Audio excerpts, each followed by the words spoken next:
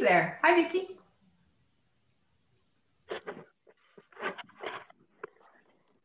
In recognition of Black History Month, the Sarasota County Bar Association, through its Council for Diversity and Inclusion, is pleased to present today's interactive panel discussion. I'm Judge Karima Hill Harvey, Chairperson of the Council. Today's presentation was made possible by the generous sponsorship of the Community Foundation of Sarasota County. For our Zoom participants, you will have a chance after later to ask questions of our panelists. Please type your questions into the chat box. We will collect and address those questions in the second half of the program. And finally, let me make a modest request. We are still seeking donations to the Richard Garland Memorial Scholarship Fund.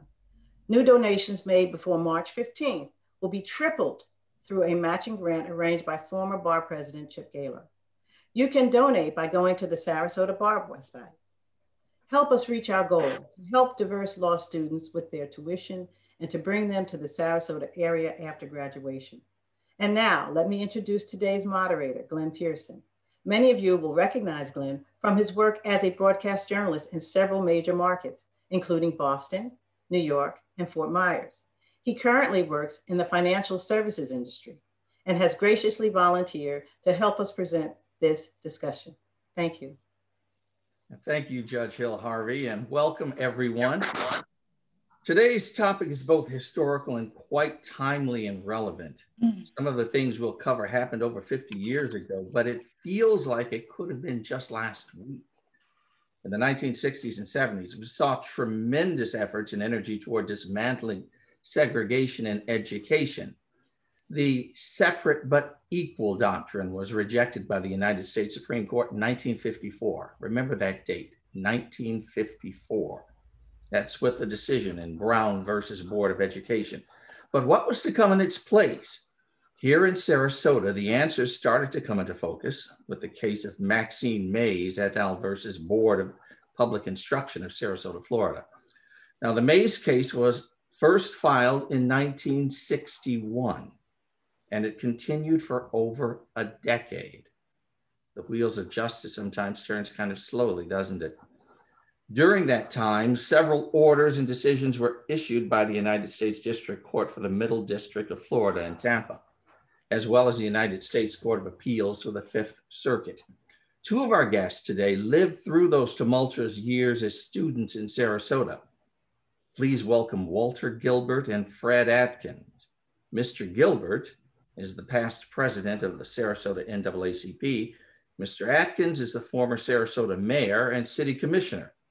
Their experiences during their formative years obviously led them to pursue careers in public service, and we'll hear from them about those experiences. But now remember that decision in 1954. It was in 1971 that the district court in the Mays case declared that Sarasota schools were unitary and fully integrated. 1954 to 1971. The legal standards have changed quite a bit since then, and some of the data indicates that perhaps we haven't made much progress towards integrating our schools since the early 1970s. The real question is this Have we achieved equity in the delivery of education to all students in Sarasota? Equity? Our third panelist tries to find answers to that question every day. Please welcome Amy Falk Weinberger. Ms. Weinberger is an educational consultant and the co-founder of the Lean On Me Passion Project. But we're going to get started with Mr. Gilbert and Atkins. First, Mr. Gilbert, when you go back to your youth, go back to that time, tell me about the discussions that you had with your family and your friends Thanks for having me, and, and I love this topic. Uh, we talk about this constantly on our uh, Newtown Alive tours that we do here in Sarasota, uh, trying to educate people to those times that you're speaking of. Uh, to answer your question, the discussion at my house was, are we really going to do this? Are we going to participate in this? And how that's going to happen? Because the process and the program that the county initiated went totally against us being a community. They took a line and they drew a line down the middle of our community, down the main street of our community, and divided it in half. So that was an issue in our community, and our parents and our community leaders at that time was discussing what we were going to do about that, and if we was even going to participate in that program. Well, drawing a line down the middle of your community, obviously you wanted equity in education you uh, this separate but equal thing didn't seem to really pass the smell test. Um, did you feel that that maybe this was a way to to, to achieve that that equality? Well, it, what they were doing, you know, they, they had to dra- drag the South Sarasota County school system to this kicking and screaming you know, they, their first steps were to to to comply with the court order was to put a black kid here, a black kid there, and a black kid there, and tell the federal government, look, we're integrated. So the, the federal government say, no, you're not. We're not going for that. And if you don't come up with a plan by a certain period of time, we're going to put a plan in place for you. And we who went to Booker knew that right behind our school was the entire white community.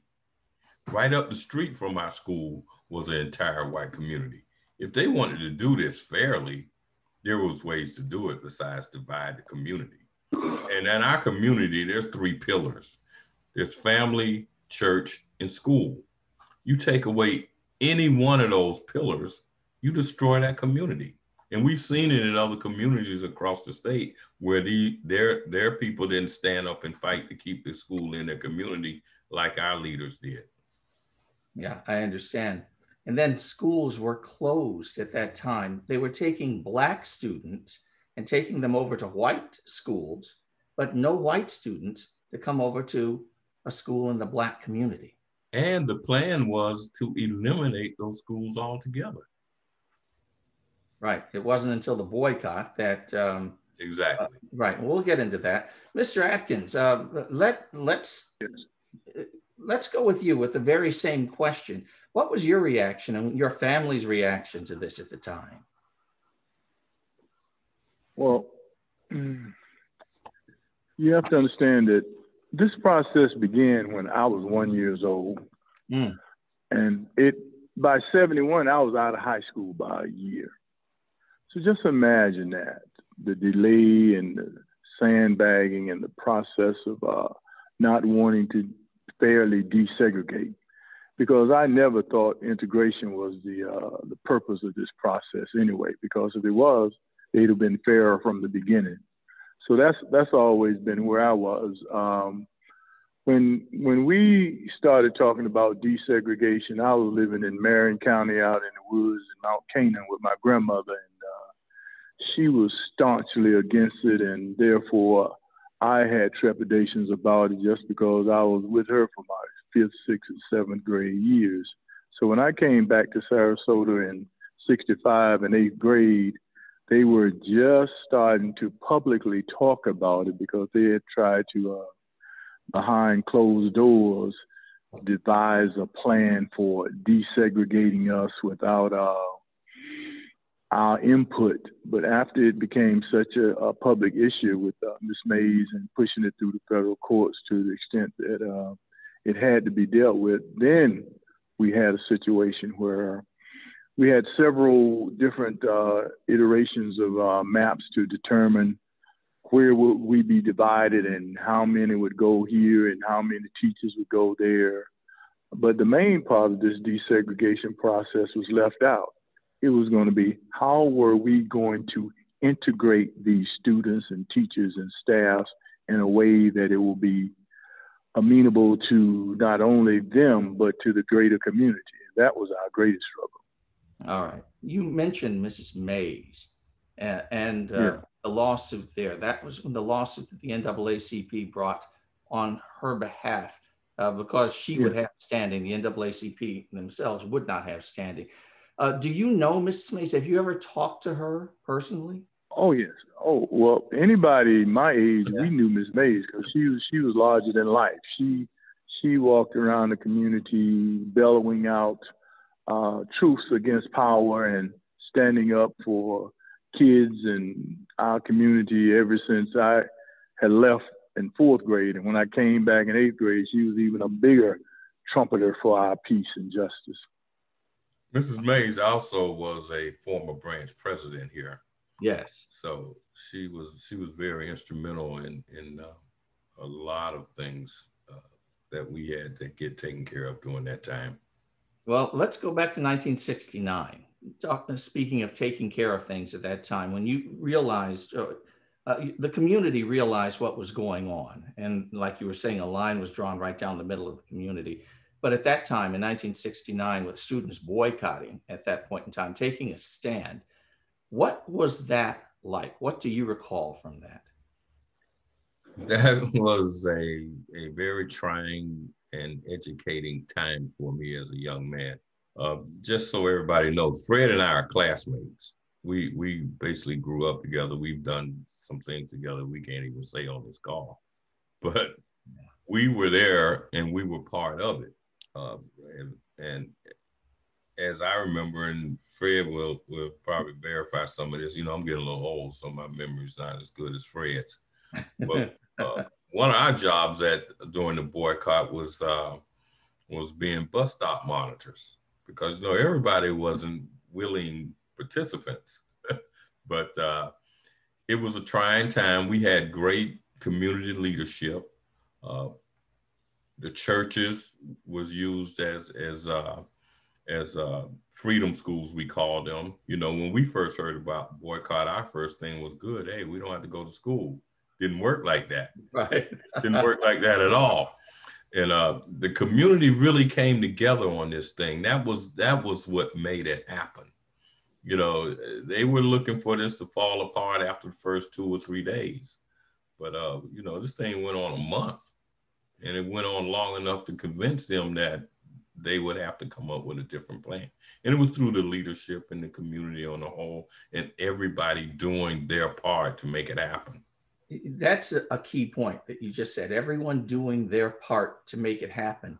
And I'm reminded of the famous quote from Margaret Mead. It says, Never doubt that a small group of thoughtful, committed citizens can change the world. That's exactly what happened here in Sarasota as far as that boycott's concerned you know, and the school district at that point in time determined that they were losing about five thousand dollars a day. Exactly. As a result of the boycott. So, you know, when it comes to impact you financially, things can happen. Things happen fast. yes. Well, let's. Um, I, I want to move on uh, to uh, Ms. Weinberger because when we're thinking about, you know, remember there was a separate but equal thing, but then there's equality and there's equity. Was there equity and is there equity as we're coming into today? I mean, we're, you know, we're looking back at that time. And even though we're, we're going back that many years, think about what it is today. Have we achieved equity? Ms. Weinberger? Well, thank you, sir. Uh, and thank you to the Sarasota County Bar Association and the Community Foundation for the honor to be here on this panel with Mr. Atkins and Mr. Gilbert and Mr. Glenn Pearson as a moderator. So to answer your question, um, there are a couple backstories, right? Um, so integration was a mess on so many levels, but to the point of racial equity of your question, that's a focus on dividing resources proportionally to achieve a fair outcome for those involved the white teachers and the administrators of the early days of integration just didn't get the memo or they didn't read the memo or they didn't have the passion to understand the memo. And you fast forward to 2021 and for some of my white colleagues the memo about how to teach students of color is just simply ignored and implicit and explicit biases continue to exist today in the classrooms that our kids uh, enter every day the positive news about integration, however, is that by the time I entered elementary school, which was in 1971, yeah. Um, and through my high school years, I had the advantage of having Black teachers and they loved me, they supported me, and they made sure that I understood my lessons. And I was one of the only children in my peer group from a single uh, parent home at that time. And for some reason, my Black teachers took me under their wings. I owe my curiosity and my grammar, and my love of literature, and my math skills to Mrs. Hoffman, Mrs. Williams, Mrs. Red, Mrs. Brady, Mr. Page, and Mr. Yancey. I'm that little girl in the movie Help and the Help. And thanks to Miss Cora and Miss Virginia and Miss Mabel, I am capable. I didn't know anything different. So I can't even begin to imagine, except what I've witnessed in the current system, the opposite of what was happening to my Black peer group with their white teachers judging, withholding, and being punitive. So the history of integration in the Sarasota education system is the same story that I experienced in my hometown of Portsmouth, Virginia. It wasn't until my 30th high school reunion in 2012 that my best friend Micah, a Black man, and I learned for the first time why we were never invited to any of the parties. It was because of sundowning. There was no intermixing with the Blacks or the Jews after five. We had no clue until 2012. That's how much of a secret it was kept from us. So we stood in complete disbelief. And because during the school day we were accepted or maybe just tolerated, the white teachers, the Board of Education, the administrators, and the parents of white children and teens somehow got away with creating a storyline that Black children are innately less capable or inferior.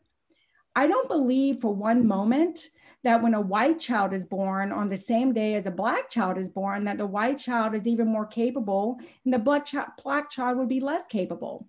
There's simply no achievement gap when we are born. I think we've so, made it up. So let me interject right there because yes. you brought up a good point. Just uh, this, uh, when we're integrating, and then you've got black students going uh, to school, to white schools, but they're made to feel like they can't exactly achieve as much as the white students. Within the black community, I'm going back to Mr. Gilbert now. Within the black community, uh, let's say at, at Booker School, you never had anything like that. You were expected to achieve, were you not? We were demanded to achieve. Exactly. Yeah, you know, you had teachers that knew that you had to do better to be better, and you had to be better to accomplish because the, the world at that time was really stacked against you. We, we know you talk about now. So, and we had teachers that were aware that the world was changing. So we had to be even more prepared. They was preparing us for a future that they hadn't lived in yet, but they knew it was coming. We just honored my sixth grade teacher, Miss Dorothy Smith, who was the first Black principal here in Sarasota County post desegregation with a bronze memorial plaque on the wall of Southside Elementary School here in Sarasota. Mrs. Smith was my sixth grade teacher who did that type of teaching. I love Mrs. Smith. And had not been for her, myself and many other students wouldn't have been prepared for what was coming. So now when you look back again at that, the community there and the expectations. Oh, look, it sounds like a Jeopardy question right now. Uh, I didn't know I was going to get a prize. Thank you. Give me my money. All right. So you, you look at the community, the, the schools within the Black community, and what was what was demanded then you look at this issue of desegregating and, and busing. Therein lies the problem, not only here in Sarasota, but across the country. Yeah. so many problems, like in Boston and other places, which comes down to education being culturally proficient, teaching, culturally proficient teaching. Ms. Weinberger, can you tell me what is culturally proficient teaching? Yes, thank you, sir. Um, I hope I can. So culturally and learning is the understand um, is about understanding the current systems that are in place. So currently, if we look at our education system, it is currently an, a Eurocentric and white supremacist system versus where we need to work towards, which is centric and mindful. So what does that mean? It means that under the Eurocentric system, there's an expectation of perfectionism, but under the centric model, the focus is anti-violence, very separate.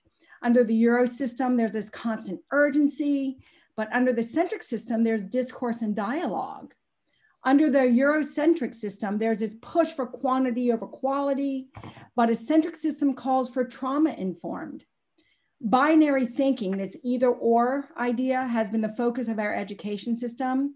However, instead, a culturally proficient uh, teaching and learning system would be historically mindful. In other words, all people coming into the world of education from our university systems must have access to training that is centric and mindful, no longer Eurocentric and white supremacist. Understood. Understood. Can, can, I jump in and follow please, up on what she just said? That's that's very important what she just said. And we are currently working with the Sarasota County School Board to encourage what she just said by doing certain things as far as training and bringing new teachers that come into this community the, the, the, the, the opportunity to see and learn the history of the community they're teaching in. You know, we have teachers that come into this community that work for the school board, that teach Black kids that never go to Newtown, mm. never learn anything about local black history. And that's a problem because how you going to be sitting there dealing with these kids and their issues and whatever they're going through and don't even know anything about them. So we're working with the school board now to initiate a program where we get to come in and help train those new teachers to that and give them black history of Newtown. That goes right along with this history we're talking about with the school board to yeah. help them be better teachers, not to beat them over the head with black history and you know how some people like to rebel against that thought. I don't want to know anything about black history. Why yeah. should I know that? But if you're going to teach our kids, yeah, you need to know about Newtown. You need to know about Newtown's history. So that's where we're coming from, and that's what we want to help the school board do. Thank you for that. Mr. Atkins, what are your thoughts on this?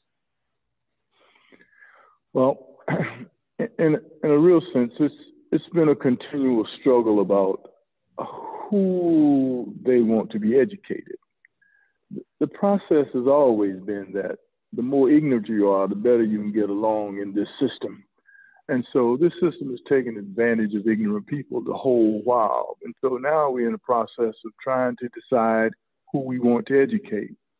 One of the things that happened in our communities as kids is our teachers not only pushed all of us, but then when they identified young people that were able and more capable to do and strive to be greater than some of the others, they pushed them even harder because we knew that we needed someone to help in our community, to help direct our energy to help lead us. And so here we are in, in this process right now trying to figure out are we getting educated still? That's a shame. You know, uh, it, it's it's really, um, and what you just heard was the uh, the school bell at Booker Middle School. I'm out here today, and so um, and they go through that process of the the Jeopardy jingle to help uh, encourage kids up and get to class on time. But it, so oh, you know, you got man, 10 I thought, seconds. Fred, I thought I had won some money, yeah. man. You just bust my bubble. I, I, wanted to help you out there a little bit. But yeah, that's that's our struggle, and, and we we we need to continue because right here at Booker Middle School, Booker High School, you know, the the the magnet program, the VPA programs, it is it is just a form of different kind of segregation. Uh, it still takes the talented and put them in a segment in a different section of the school and process them through and leaving the rest of them behind. And that's what we need to do in this process of energizing our future in this country is to bring more of us forward because the more we leave behind, the more trouble we'll have with the rest. Mm, good point. Very good point. I, I, just want to come back just to look at some legalities here. Uh, Ms. Weinberger, when we talk about culturally proficient teaching and learning, is that different than the applicable legal standard of unitary school districts and equal access? So um, I'm not the expert on that question from that legality part because um, I'm not. But what I don't, I, when I read that question, I wasn't even sure how to answer it. So can I defer that? And can you ask me a different question? Is that okay? sure. Yeah, you know, right. We're going to be going to questions from the audience as well. And there may be a lawyer who might be able to address yeah. Out there. Like there might be one out there. there might be at least one, right? Okay. I have uh, some yes. other questions. yes, okay. All right. Well, you know, we just think about, uh, we've talked about the past. Yes. I, I really want to deal now. I want us all to focus on the present, what's mm-hmm. going on today with our children and the education system, because there's a lot that remains to be done. Uh, what do you think our schools could do right now to better achieve equity in the delivery of education to students in Sarasota? All right. No. Okay. You you you want this one? All right. I, I can do this one. okay. All right. Yes. um, well, I'm going to say something that might be off-putting, but um, it is a mindset of my white colleagues that is a problem and it's that that's been a, a big problem.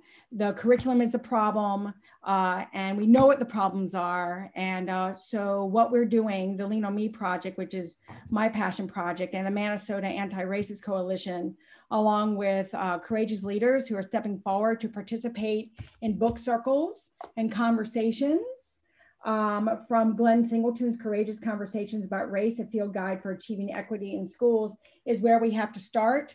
Because unless we're looking in the mirror and we are not reevaluating our implicit bias, that if we're a teacher and we walk in and we see a group of Black children or Indigenous children or Latino X children, whatever children we see, if we haven't understood our own implicit biases on how we're going to be in that classroom and what we're going to expect from one student versus another, then we will remain the problem and we will continue to have the achievement gap um, you know, expanded instead of reduced. And that's our problem right now. And we can change that. But it's got to be the courageous teachers who come forward and the courageous school board members and the courageous administrators who aren't going to be you know dissuaded by all the noise in the background right? So it's passion. We have to have the passion the will to do it. We have to have the practice. We have to go practice doing it. And we have to have persistence doing that. Without those three we can't change anything. I don't care what the Florida Department of Education tells us to teach. All right. Mr. Atkins, do you see that happening yeah. right now? No. No? All right. Um, I, I, I, don't think that uh, the curriculum has uh, changed much since I was at Sarasota High School. Uh, I think it is still Eurocentric in its flavor, and it has no desire to educate the majority of the people at the campus. They just want to pick and choose who get the education, and then the rest of us get left behind. And so that's that's a critical problem in this whole process. And so no, I don't see uh, diversity in the curriculum or education our motivation in teachers to make a difference in how children learn and why they learn and encourage them to learn. Mr. Gilbert, your thoughts? I totally agree with both of my uh, cohorts there. But I'd like to say this. Uh, yes. And I know we're getting close to where we're going to get to the questions and answers. Uh, yes. I look at this thing as we're in the third wave now of where civil rights has come from. The first wave was right after Reconstruction, and we know what they did with that. Mm.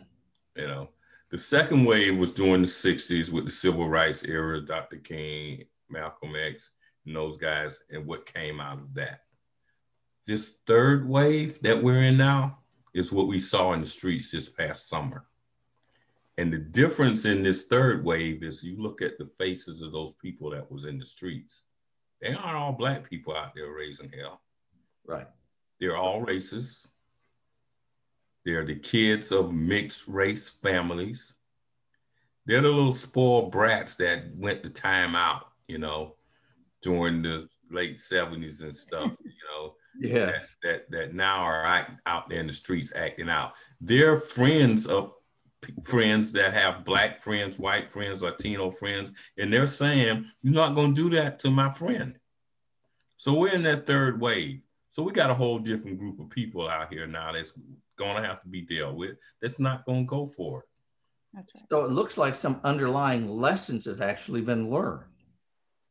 Correct. Yes. And so when you look at that, you look at all the protests and where we are today, do you think all of the efforts that have gone on has made us a better society? let, me ask you something. Let me, let me, let me, hey, let me tell you something.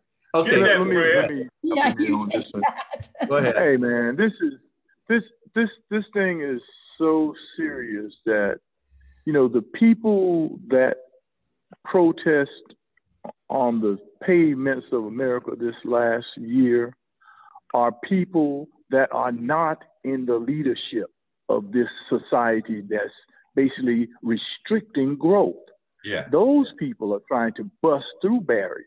That's the right. leaders and the owners of these corporations and these political entities and institutions are still directing the force of education in America. Look, look at what Florida does. Florida is one of the most archaic education systems in the United States. Yet and still, we still have geniuses that press through, but it's only a few. And so we've got to celebrate those people that are busting through barriers through relationships that has nothing to do with the powers that are dictating what's going on. That's right. Okay, excellent. Great point taken. Uh, Mr. Pearson? Yes, go ahead. Your question, uh, have we be, become a better society? Uh, I, I, I really thought about that long and hard and and an answer to that, it has made the Black community more resilient. Um, it has made the white communities more entitled. Um, look, when you walk around with enemies all day long, you have to be pretty creative and pretty resilient to survive and thrive. And I think, I'd like to think that the generation below me, with perhaps my generational leadership, can start making that difference because there are different people showing up. And the time is now. This third wave is this moment. It is here. And we have got to be present and stay present and move this forward. It is our responsibility. All right. Thank you so much. It's time that we would open this panel discussion to the other people listening right now. So we I know that a number of questions have been coming through. Um, so let, let's start with one of them. I've got some associates who are going to help me with that.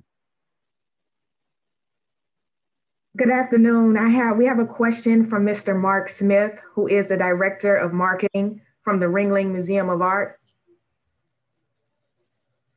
All right. Hello, how are you? Can everyone hear me okay? Hey, Mark. Yes, sir. Um, lately, there's been a lot of uh, discussion uh, about diversity, equity, inclusion, access. Um, you know, not only here and you know locally, but all over the country.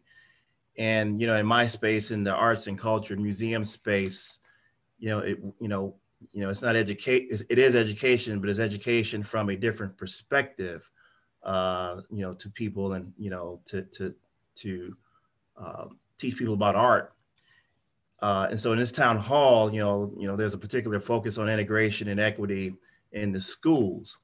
You know, my opinion, you know, I think true integration and equity uh, encompasses educating students on subjects other than, you know, European history.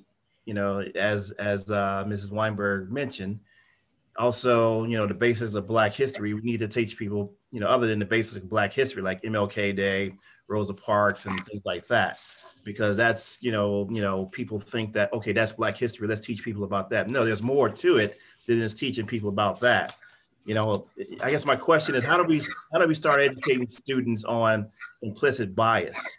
You know educating students on the black lives matter movement you know over policing in the black communities things like that you know and the issues in the criminal justice system um, as it relates to people of color. I, you know, I think these are, you know, things we need to be educating our students on, even at a young age. I mean, these are these uncomfortable, real conversations um, that schools um, need to have because this is this is, you know, could be part of the solution to the problem. Mark, let me hit you with something on that if I can. Uh, wonderful question. We used to get that around the dinner table at home. You know, that that that that was where we got that education from in the past. But as you said, this education also needs to be done within the system. And that's part of changing the curriculum that is being handed out to these schools and, and, and holding them to task to make sure that's being taught in school systems. Uh, that's a fight we're going to have to have, and that's a fight worth having. Uh, but let me hit you with this right here as far as the arts and talk about Mrs. Smith right quick. The reason I love Shakespeare today is because my sixth grade teacher, Mrs. Dorothy Smith, took me out to the Asolo to see As You Like It. Those type of teachers make those differences for our children. So just uh, touch that a little bit. Yes, and Mr. Smith, your question about how we're going to do it, we have to start with the staff, the teachers. We have to retrain them. They're the ones walking in our classrooms. They're the ones with the they're the ones um, sending out the implicit, and even in many cases that I've witnessed, explicit. We have to start over. Good. Good we, we, have we, we have a serious problem. We we have a serious problem and and the problem, you know, and, and I can speak more to the state of Florida, even though I've read about other states, but the state of Florida has never relinquished the ability to educate all of the black and brown kids of this state. They've always held control. Matter of fact, if we talk about uh, equity in education, we probably was developing greater geniuses when we were segregated than we are now because mm-hmm. we are our kids are getting crushed. They are getting crushed by the system. And looking when we look around, you know, 165 cases to suppress the vote in America. You know that in, the vote. So just imagine what they're doing to little kids' minds. Right. Yeah. Yeah. Really good point. It just it reminds me when I was in school in Detroit uh, the the school I went to, most of my teachers could relate to me because most of my teachers were black. Uh, I had black men and black women as teachers, and I remember them mm-hmm. fondly today. I mean, going all the way back to third grade. Uh, that it makes a big impact, and when students are taken out of that setting and forced into something else, and then there's that Eurocentric education system going on. It can really have a deleterious effect all the way around. Mm. Absolutely. and we, have, we have a follow-up question from Caitlin Foss. Hi, um, I actually also work for the Ringling Museum. Um, uh, I'm actually from Sarasota, born and raised, and graduated from Booker in 2002 and uh, there was mention earlier of you know bias training for newer teachers coming in but i'm just curious my own personal experience um, seeing how different teachers taught based on their predispositions and other considerations. And what about those seasoned teachers the ones that have been around a long time? I mean is that something that is being considered too? Is it that we're expecting you know with you know whatever whatever we're able to get done i guess with regards to the florida education system. Um, and i say that because uh, obviously you know for for me uh, i i went through all of my education in florida in sarasota specifically. And it took me graduating college out of state and coming back and asking some questions about my local community to to actually learn about segregation in Sarasota and uh, literally any of this information I, I had to you know find myself as an adult person and they're just not it wasn't being taught at all and that was in 2002 so i'm just curious there was the mention of, of newer teachers but you know for for the ones that have been serving in these roles a long time and maybe um, potentially you know in a, one particular headspace about how things should be done. Yes uh, the conversation you know, every every conversation has to have a starting point, and the starting point was with the new teachers, but we would love to help every teacher that we can help with this type of program. So uh, we're going to be pushing the school board to allow us to do as much as possible. Yeah, there is a new um, committee. I don't know how they're calling it. Uh, that is starting to actually. I think. I think it's a. Uh, equity in education. I don't know how they're calling it. This, yeah, new superintendent set up. Yeah, the new superintendent setting it up. So that's the good news. The other, we have to watch and see who is going to really embrace it, right? As a teacher, you know, it's tricky if you've been in the system for a long time, right? Yeah, you got the union to deal with. You yeah. have all these different people and, and entities that's involved in making something like this happen. Uh, let's just face it, you got some teachers that don't want to have nothing to do with this. Right. You know, I, I can remember when we integrated schools, we had teachers that didn't want to teach us and mm-hmm. wouldn't. It was like you was in the classroom and wasn't there. You know, I had to go ask a teacher for my test one time. You know, just walked around and handed everybody a test, and I'm sitting there, where's mine? So, uh, you know, the beat goes on though, right? right.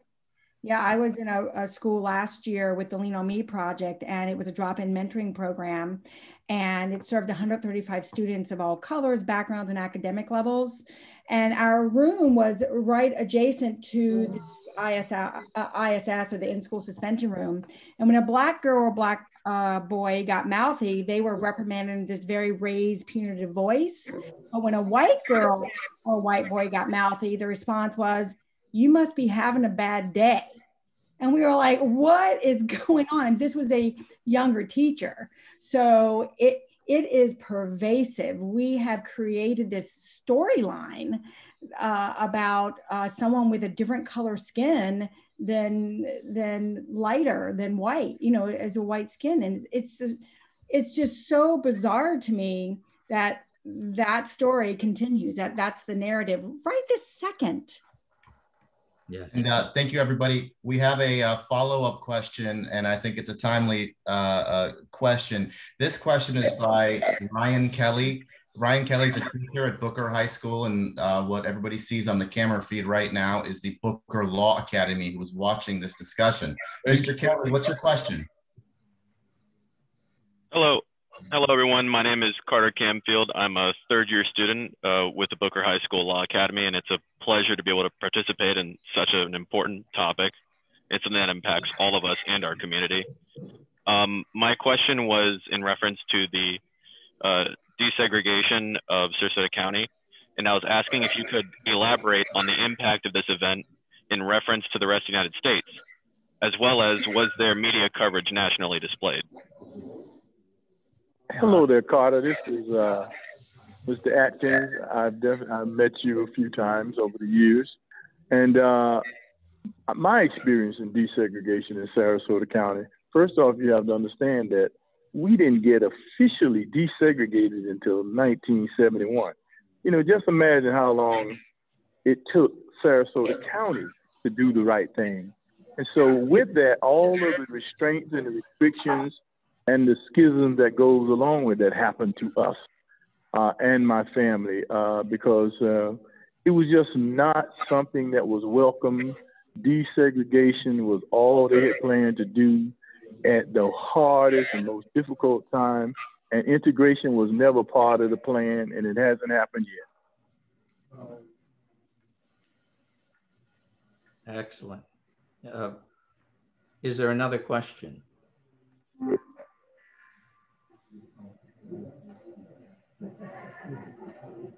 I, I, can I can hear the wheels turning. this is um, Kirsten Russell. Well, well, let me let me let me I can I let me tell you something. Um, and what I've I've experienced in Sarasota, and I, you know, as a young man, you know, Carter's age, I had this vision of what America was going to look like right now, and it and it is it is coming to fruition. But I what I expected was the, the, the younger generation that was coming through with me, we was going to change America. But what happened to the uh, hippies and the progressive people of the 60s and 50s and 70s? They became just like their parents.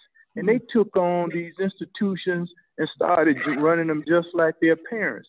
And I've got hope for this younger generation right now that they will step into this gap and make this place fairer for everybody.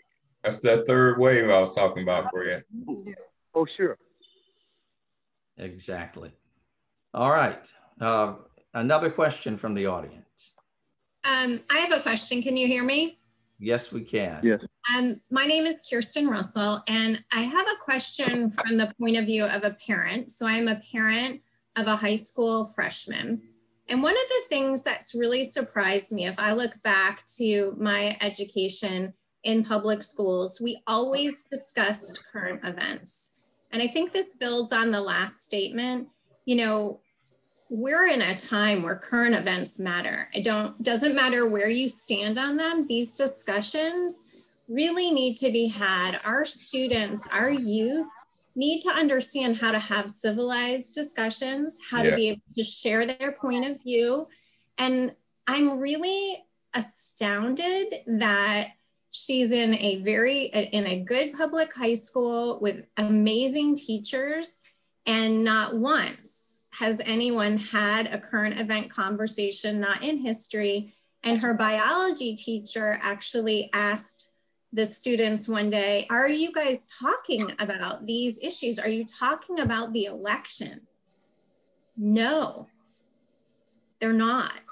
Yes. and I would like to understand if anyone on the call can, is it that it's too um, too intense that we can't even have these conversations with students? I would just, I'd love anyone's perspective because I think it is really going to put us in a position where our youth are going to have a really hard time um, stepping out on their own and developing their own beliefs and and being able to really process all of those details.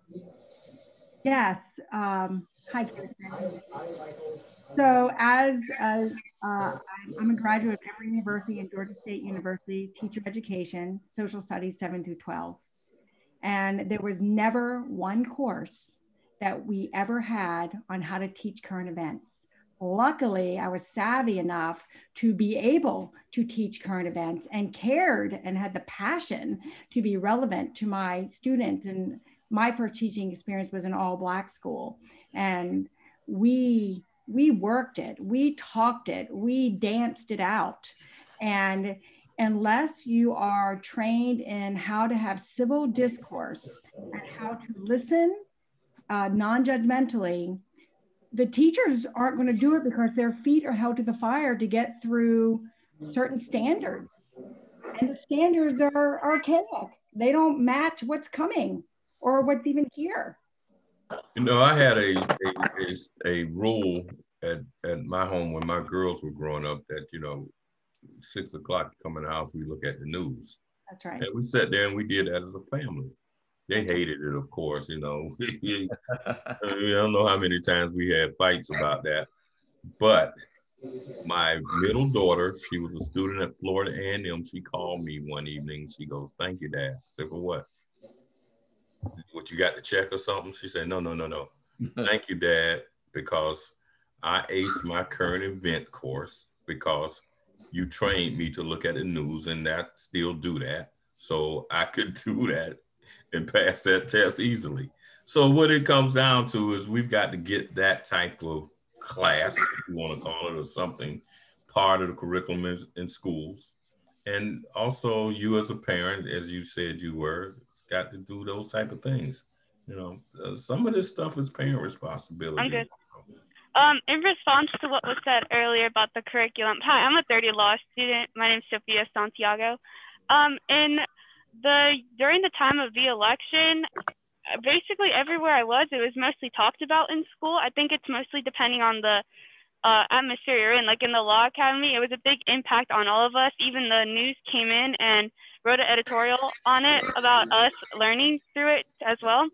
But in response of current events, that's basically what most of um our AICE like English level classes are based off. Like we take global perspectives in order to achieve our diploma, and that's basically the whole curriculum. We're told to do an essay and a PowerPoint, uh, and we're told to work on it for months, and it's basically about current global issues, local issues, or Good. national issues. Issues. So it's mostly built into our curriculum as we progress through the years of high school. And a lot of people do become passionate at the end. Like most of us, we're really passionate about politics and like learning more about it. And like Mr. Kelly helps us with that as well without biased opinions.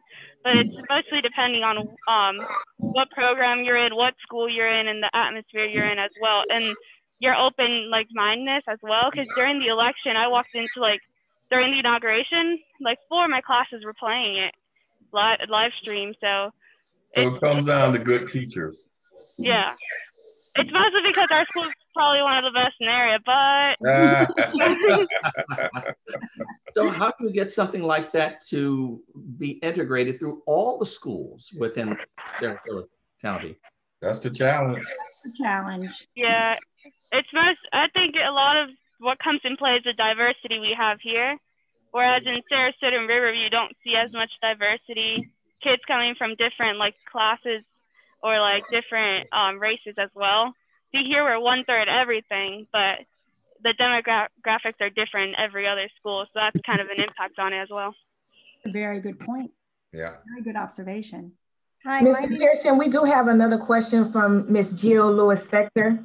She's got it now. My name is Jill, and I am new to Sarasota. I've uh, just moved here in November, and I've already taken on the responsibility of chairing the education committee for the League of Women Voters of Sarasota County. Good for you. But uh, I have a, encountered a few shockers. First of all, you know, really? New Jersey is actually um, has the most segregated schools of the entire country. And it's attributed to affordable housing and how the communities are set up and where the schools are located in the state. But Florida has something very different. Florida has vouchers, which um, sends school kids to all kinds of schools. Um, and I understand there's a new bill, HB 48, that may pass. And I'm curious about that bill and how you see that affecting the goals that you have for Sarasota schools in terms of cultural proficient teaching and segregation in the schools? Yes, so um, I'm part of Leadership Florida Class 6 right now, and that is a big conversation in that 46 uh, group person person um, group and we have had Commissioner Corcoran speak to us and other, you know, executive branch people under the Educa- Department of Education. And I, I wish I could just tell you that everything's going to be okay. but I'm going to tell you that it's not going to be okay because it's noise again.